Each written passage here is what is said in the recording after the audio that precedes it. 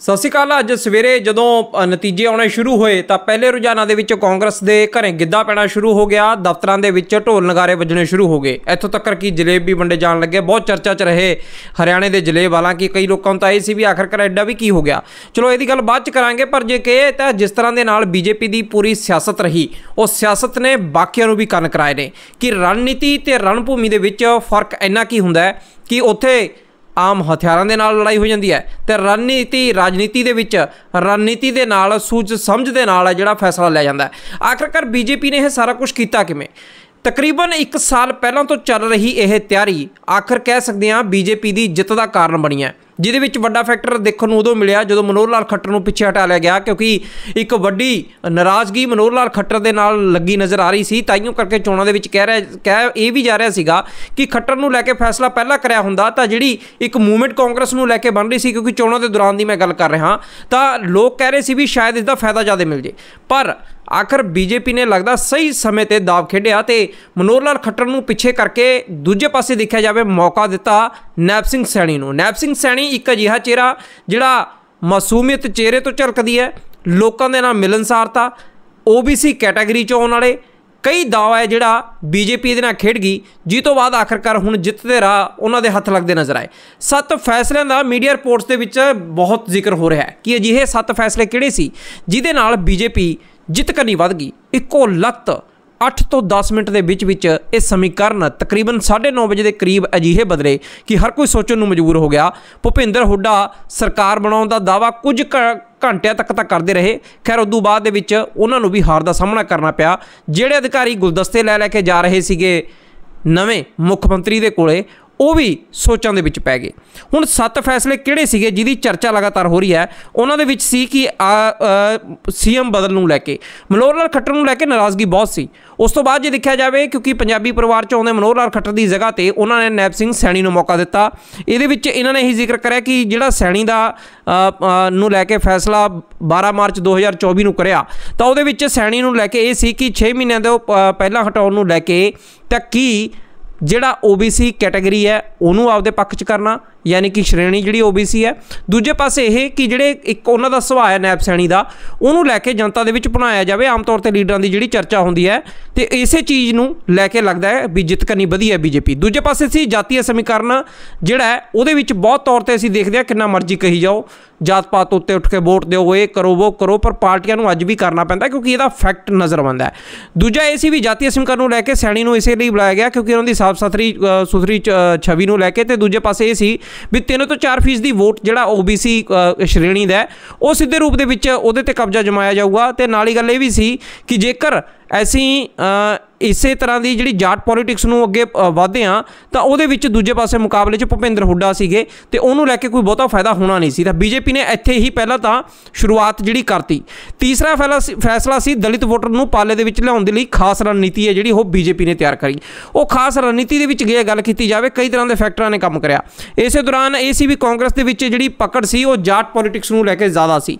ਜਿਹਨੂੰ ਲੈ ਕੇ ਦਲਿਤ ਵਰਗ ਨੂੰ ਵੀ ਸ਼ਾਇਦ ਇਹ ਲੱਗਿਆ ਕਿਉਂਕਿ ਦਲਿਤ ਵਰਗ ਜ਼ਿਆਦਾਤਰ ਬੋਲਦਾ ਤਾਂ ਨਹੀਂ ਹੁੰਦਾ। ਆਪਦਾ ਫੈਸਲਾ ਸੁਣਾਉਂਦਾ, ਪਰ ਫੈਸਲਾ ਬਹੁਤ ਸਟੀਕ ਹੁੰਦਾ ਹੈ ਤੇ ਉਹਦੇ ਨਾਲ ਹੀ ਜਿੱਤ ਹਾਰ ਦਾ ਜਿਹੜਾ ਫੈਸਲਾ ਹੈ, ਉਹ ਹੁੰਦੇ ਹੋਏ ਨਜ਼ਰ ਆਉਂਦਾ ਹੈ। ਤੇ ਇਸੇ ਲਈ ਕਿਤੇ ਨਾ ਕਿਤੇ ਇਹ ਸੀ ਵੀ ਜਿੱਥੇ ਭੁਪਿੰਦਰ ਹੁੱਟਾ ਨੂੰ ਲੈ ਕੇ ਦਲਿਤ ਵੋਟਰ ਇਹ ਸੋਚਣ ਲੱਗਿਆ ਕਿ ਜ਼ਿਆਦਾ ਤਾਂ ਉਰੇ ਜਾਟਾਂ ਦਾ ਕਬਜ਼ਾ ਹੈ, ਤਾਂ ਉਸੇ ਚੀਜ਼ ਨੂੰ ਲੈ ਕੇ ਬੀਜੇਪੀ ਨੇ ਜਿਹੜਾ ਕਿ ਇਸ ਚੀਜ਼ ਨੂੰ ਬਣਾਇਆ ਪਹਿਲਾਂ ਤਾਂ ਸੀਐਮ ਹੈ, ਉਹਨਾਂ ਉਹ ਜੱਟ ਨਹੀਂ ਲਾਇਆ ਤੇ ਦੂਜੇ ਪਾਸੇ ਗੱਲ ਇਹ ਵੀ ਸੀ ਕਿ ਜਿਵੇਂ ਕਈ ਜਿਹੜੇ ਵੱਡੇ ਚਿਹਰੇ ਸੀ, ਉਹਨਾਂ ਨੂੰ ਬੀਜੇਪੀ ਨੇ ਪਿੱਛੇ ਹਟਾਇਆ।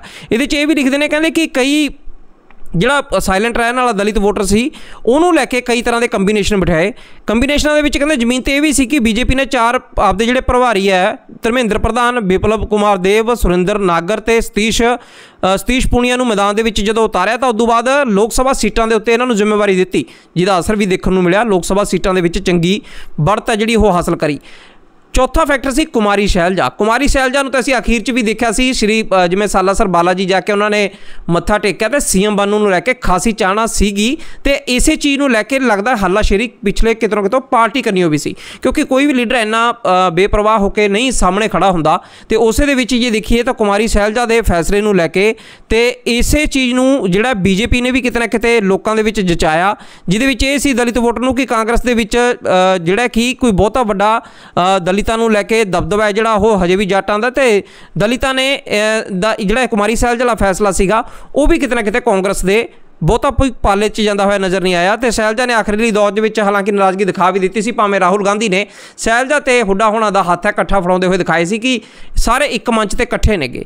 ਤੇ ਜੋ- ਪੰਜਵੇਂ ਤੌਰ ਤੇ ਦੇਖਿਆ ਜਾਵੇ ਜਿਹੜੀ ਅੰਦਰੂਨੀ ਕਲੇਸ਼ ਸੀ ਬੀਜੇਪੀ ਦਾ, ਉਹ ਤੇ ਬਹੁਤ ਲਗਾਮ ਲੱਗਦੀ ਨਜ਼ਰ ਆਈ। ਕਈ ਲੋਕ ਸਾਥ ਛੱਡ ਗਏ।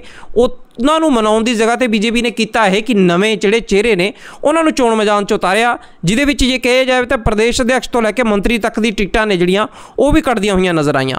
ਛੇਵਾਂ ਜਿਹੜਾ ਕਿਸਾਨ ਜਵਾਨ ਨੂੰ ਲੈ ਕੇ ਜਿਹੜਾ ਜੁੜਿਆ ਐਲਾਨ ਸੀਗਾ ਉਹ ਬਹੁਤ ਵੱਡਾ ਫੈਕਟਰ ਕੰਮ ਕਰਿਆ ਕਿਉਂਕਿ ਕਿਸਾਨ ਲਗਾਤਾਰ ਵਿਰੋਧ 'ਚ ਸੀਗੇ। ਦੂਜੇ ਪਾਸੇ ਜਵਾਨ ਅਗਨੀਵੀਰ ਸਕੀਮ ਦੀ ਗੱਲ, ਜਿਹਨੂੰ ਲਗਾਤਾਰ ਕਾਂਗਰਸ ਇੱਕ ਮੁੱਦਾ ਬਣਾ ਰਹੀ ਹੈ।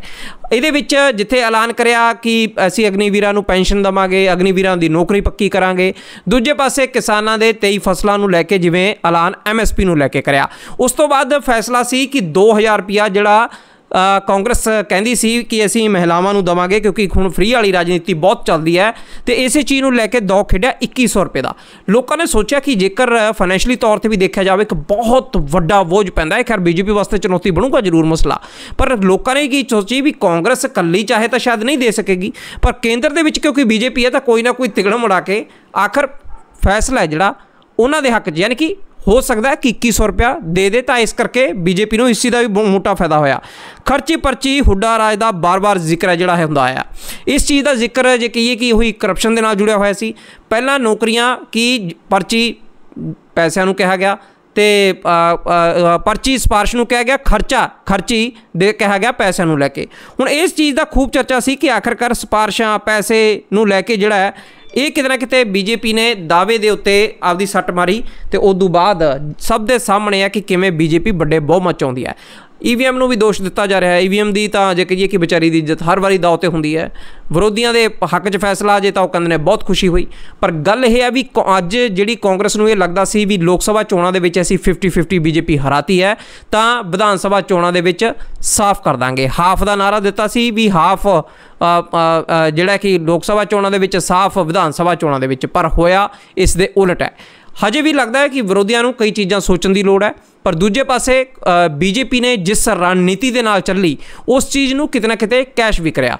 ਹੁਣ ਗੱਲ ਇਹ ਹੈ ਵੀ ਪੰਜਾਬ ਦੇ ਵਿੱਚ ਬੀਜੇਪੀ ਵੱਡੇ ਤੌਰ ਦੇ ਉੱਤੇ ਇਸ ਚੀਜ਼ ਦਾ ਜ਼ਿਕਰ ਕਰ ਰਹੀ ਹੈ, ਕਿਉਂਕਿ ਉੱਥੇ ਜਿੱਤ ਹੋ ਗਈ, ਖੁਸ਼ੀਆਂ, ਢੋਲ ਚਲੋ ਸਾਰੇ ਪਾਸੇ ਵੱਜ ਜਾਂਦੇ ਨੇ। ਪਰ ਬੀਜੇਪੀ ਲਗਾਤਾਰ ਹੁਣ ਪੰਜਾਬ 'ਚ ਇਸ ਚੀਜ਼ ਨੂੰ ਪਹਿਲੇ ਦਿਨ ਹੀ ਸ਼ੁਰੂਆਤ ਕਰਤੀ ਹੈ ਜ਼ੋਰ ਪਾਉਂਦੀ ਕਿ ਦੇਖੋ ਉੱਥੋਂ ਦਾ ਕਿਸਾਨ ਸਾਡੇ ਨਾਲ ਹੈ ਤੇ ਜਿਹੜੇ ਉਰੇ ਕਿਸਾਨ ਆਗੂ ਬੈਠੇ ਨੇ, ਉਹ ਬੀਜੇਪੀ ਦੇ ਲੀਡਰਾਂ ਦੇ ਨਿਸ਼ਾਨੇ ਤੇ ਨੇ।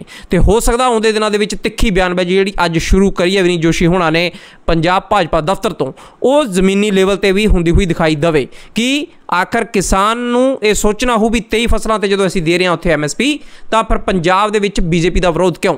ਹਾਲਾਂਕਿ ਦਾ ਦੇਖਣਾ ਹੋਊ ਆਉਂਦੇ ਦਿਨਾਂ 'ਚ ਇੰਪੈਕਟ ਕੀ ਰਹਿੰਦਾ ਪਰ ਬੀਜੇਪੀ ਇਸ ਸਮੇਂ ਦੇ ਦੌਰਾਨ ਜਿਵੇਂ ਜਿੱਤ ਦੇ ਵੱਲ ਵਧੀਆ ਤਾਂ ਬਾਕੀ ਸਟੇਟਾਂ ਦੇ ਵਿੱਚ ਜੇ ਕਹੀਏ ਕਿ ਜਿਵੇਂ ਖਾਸ ਕਰ ਪੰਜਾਬ ਦੀ ਗੱਲ ਕਰੀਏ, ਤਾਂ ਬਾਈ ਇਲੈਕਸ਼ਨ ਨੂੰ ਲੈ ਕੇ ਪੱਬਾਂ ਭਾਰ ਜ਼ਰੂਰ ਹੈ। ਫੈਸਲਾ ਖੈਰ ਜਨਤਾ ਜਨਾਰਦਨ ਨੇ ਸੁਣਾਉਣਾ ਹੁੰਦਾ ਪਰ ਰਣਨੀਤੀ ਦੇ ਵਿੱਚ ਬੀਜੇਪੀ ਨੇ ਦਿਖਾਤਾ ਇੱਕ ਵਾਰੀ ਕਿ ਰਣਨੀਤੀ ਹਜੇ ਵੀ ਉਹਨਾਂ ਦੀ ਮਜ਼ਬੂਤ ਹੈ। ਤੁਸੀਂ ਕਮੈਂਟ ਕਰਕੇ ਆਪਦੀ رائے ਜਰੂਰ ਸਾਂਝੀ ਕਰਿਓ ਕਿ ਆਖਰਕਾਰ ਤੁਸੀਂ ਇਸ ਜਿੱਤ ਨੂੰ ਕਿਵੇਂ ਦੇਖਦੇ ਹੋ ਪਰ ਨਾਲ ਨਾਲ ਗੱਲ ਇਹ ਵੀ ਆ ਰਣਨੀਤੀ ਦੇ ਵਿੱਚ ਜਿਸ ਤਰ੍ਹਾਂ ਦੇ ਨਾਲ ਇਹ ਖੇਡ ਖੇਡੀ ਗਈ ਤਾਂ ਉਹਦੇ ਵਿੱਚ ਆਖਰ ਵਿਰੋਧੀ ਕਿੱਥੇ ਪਿੱਛੇ ਰਹਿ ਗਏ ਨੇ ਕਮੈਂਟ ਕਰਕੇ ਜਰੂਰ رائے ਆਪਦੀ ਸਾਂਝੀ ਕਰਿਓ